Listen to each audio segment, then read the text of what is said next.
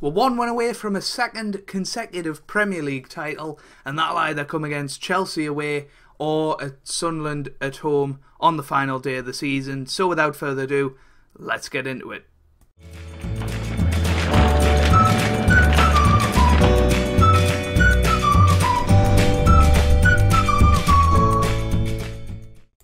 Hey guys, welcome back to some more Football Manager 2017 and part 12 of Season 2 of Life After Wenger. And as I said um, before in the intro, we have two Premier League games today, I think.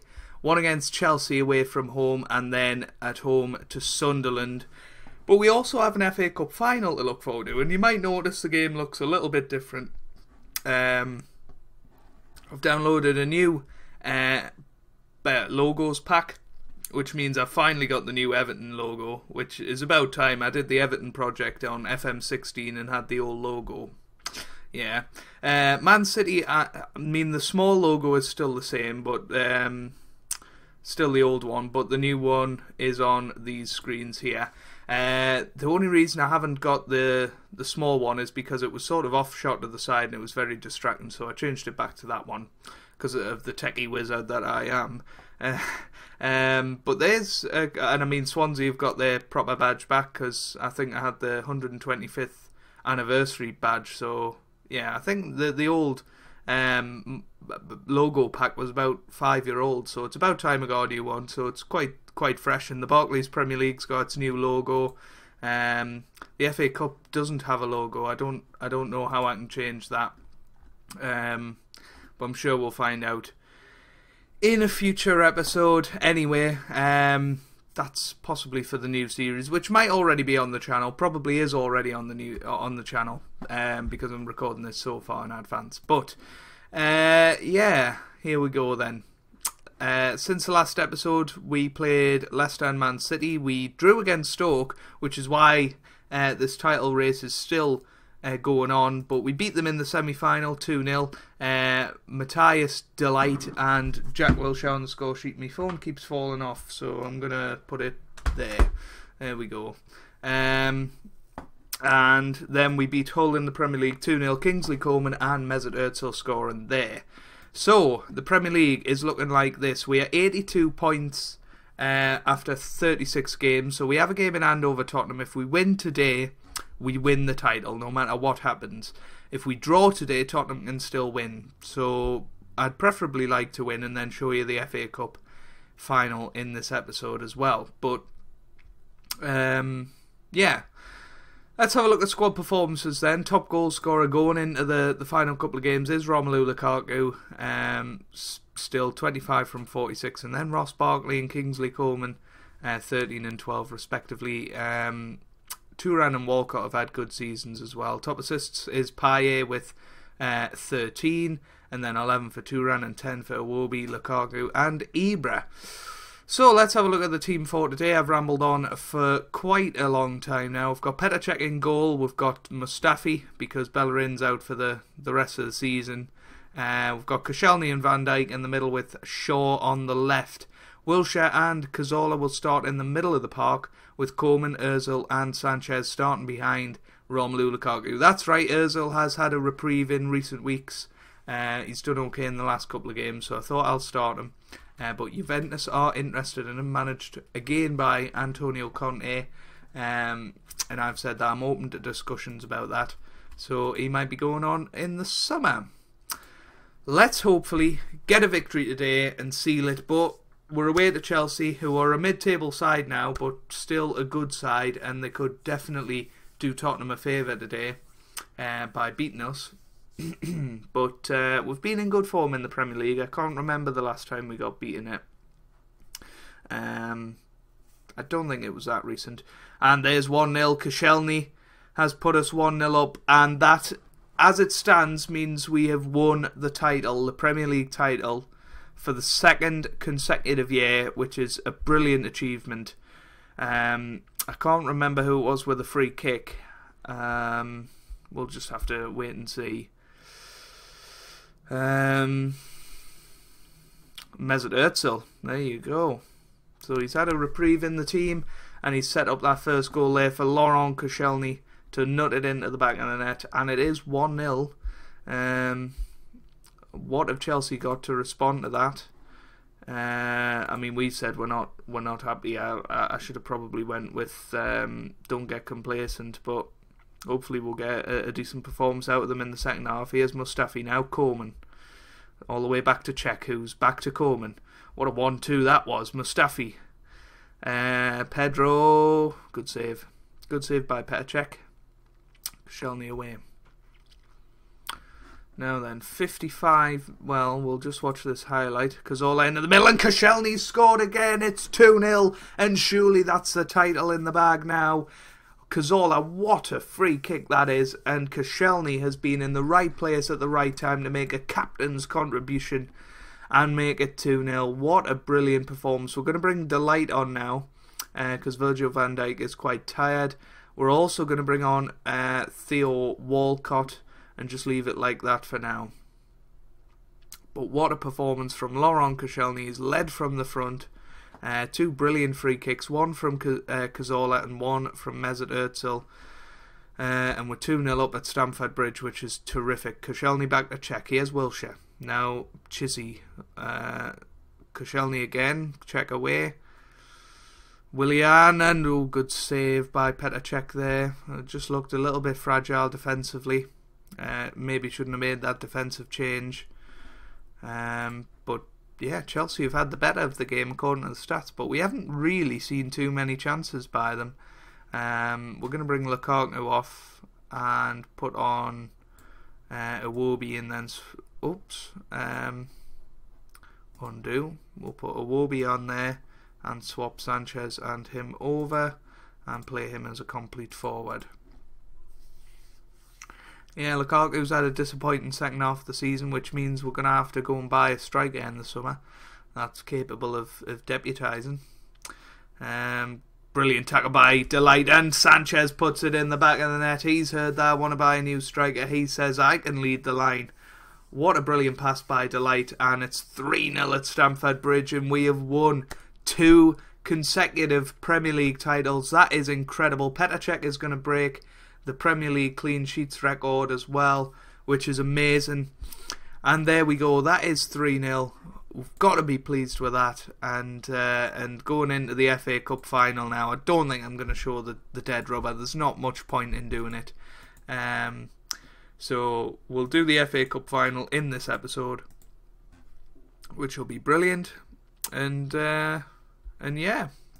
So that is the season so far. We haven't conceded a goal in the Premier League since April, uh, the start of April, against Leicester. So things looking good. Things looking good for us, and we've got Sunderland in the final game, uh, and I'll update you about that when we come back for the FA Cup final in just a second. Well, we won the final game of the season 4 0 against Sunderland, meaning that we won the Premier League by seven points in the end because Tottenham got beat um, by Man United 6 2. So, yeah, um, we finished top, seven points clear. That's an improvement on last year uh, of two points for us, and um, you know, we're, we're seven points clear this year instead of two last year. So read into that what you will. Brighton go down this year along with Bournemouth and Swansea. Uh, I don't know who's come up. Um, it's either going to be Huddersfield or Derby, as well as Middlesbrough and Reading. So that's an interesting one. Um, few of the award winners to tell you about: uh, Player of the Year Harry Kane, Young Player of the Year Harry Kane, Top Goal Scorer Jamie Vardy, um, which was a bit of an interesting one. Um, where are the, there we go. We were named manager of the year. Uh, Cech won the Golden Glove with 25 clean sheets from 38 appearances. Um, that's got to be a record, surely. Um, I don't know though, so you guys will have to let us know. Um, we won uh, manager of the year, and that's the the team of the year if you're interested in that. Uh, so yeah, we won 4 0 against Sunderland. Ibrahimovic getting a hat trick there, which has changed our team plans for today, and Aaron Ramsey scoring as well, meaning that we're going to go with an unchanged lineup from the Sunderland game. I rotated a little bit, but um, yeah, Ibra comes into play. Ramsey and Barkley are going to be in the midfield. Um, and yeah, I, I, that's the the team we're going to go for for this FA Cup final against Everton. Um, I think Ibrahimovic scored three goals more than Lukaku has for a while, so he gets a start. And if not, we've got Lukaku and Walcott on the bench, so there's plenty of goals on the bench if we need them.